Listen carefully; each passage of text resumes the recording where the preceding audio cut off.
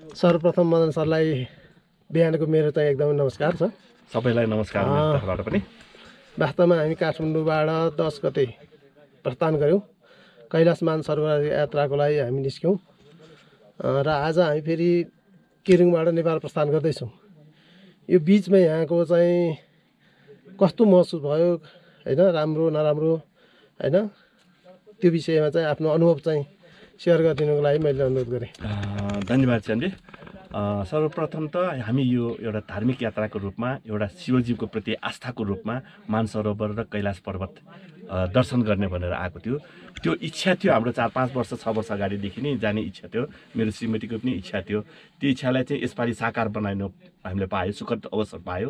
त्यसमा अँ, हाम्रो अँ, कर साहबले पनि त्यत्तिकै कोअपरेट गर्नुभयो हामीलाई इन्भाइट पनि गर्नुभयो। आउनुहोस् तपाईँहरू पनि हामी सँगै जाउँ भनेर। मेरो यात्रा चाहिँ खास कोरा घुम्ने पनि थियो। र कोरा घुम्ने कुरामा हामीले चाहिँ अलिकति आँट नगरौँ कि उमेरको हिसाब किताबले पनि त्यहाँको हाइटको हिसाबले पनि नगरौँ भनेपछि यो यात्रा सबभन्दा यसमा धार्मिक यात्रासहित पर्यटकीय यात्रा पनि भएको हुनाले अझ हामीलाई चाहिँ एट्र्याक्टिभ लाग्यो। र त्यही अनुसार चाहिँ हामीले त्यहाँबाट प्रस्थान गऱ्यौँ। जुन दिन प्रस्थान गरेँ त्यसलाई भगवान् शिवको आस्थाको हिसाबमा मैले कमिटमेन्ट गरेर म शिवको दर्शन गर्ने एउटा अपर्च्युनिटी पायो भनेर हामी दुईजना खुसी भएर घरबाट निस्केको थियौँ। जुन खुसी भएर घरबाट निस्केको थियौँ आज अन्तिम दिनमा घरतिर फर्कँदैछौँ। त्यति बेलासम्म खुसीको खुसी नै हामी चाहिँ महसुस गरेको छौँ। र मलाई एउटा चाहिँ के अनुभव भयो भने हुन त हामी यहाँहरूको छौँ जुन नयाँ साथीहरू सबैलाई मेरो परिचय भयो। मेरो फ्यामिलीसँग सायद यहाँको कोहीसँग पनि त्यति राम्रो परिचय थिएन। त्यो परिचय नहुँदा नहुँदै पनि जुन किसिमको आत्मीयता यहाँहरूले दिनुभयो जुन किसिमको यहाँले सहयोग गर्नुभयो जुन किसिमको धार्मिक आस्था हामीले पाएँ यी सबैको राखेर म त अलिकति गौरवान्वित नै छु। यो एउटा चाहिँ मैले ठुलो अपर्च्युनिटी पाएँ भनेर मैले महसुस गरेको छु।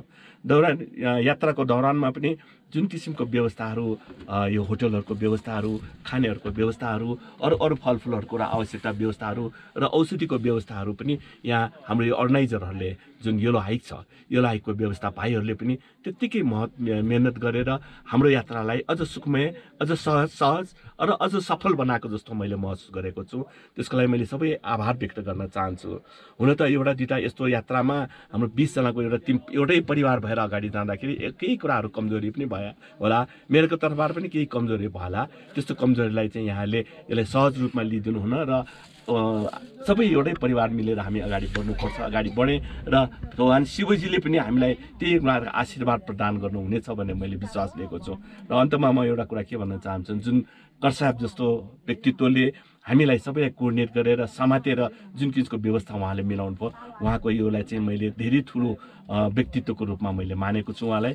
उहाँले त्यो जुन अवस्थालाई हामीले सिर्जना गरेर जुन खुसीले जुन व्यक्ति व्यक्तिमा उहाँले एउटा सम्पर्क गरेर के छ स्वास्थ्य ठिक छ कि छैन खाना ठिक छ कि छैन भने जुन किसिमको केयर गर्नुभयो त्यो केयर गरेकोमा पनि उहाँलाई धेरै ठुलो आभार व्यक्त गर्न चाहन्छु। र सबैको लागि पुनः एकपटक मैले शिवजीको सबैको आशीर्वाद प्राप्त होस् भन्ने कामना गर्न चाहन्छु। धन्यवाद। धन्यवाद। धन्यवाद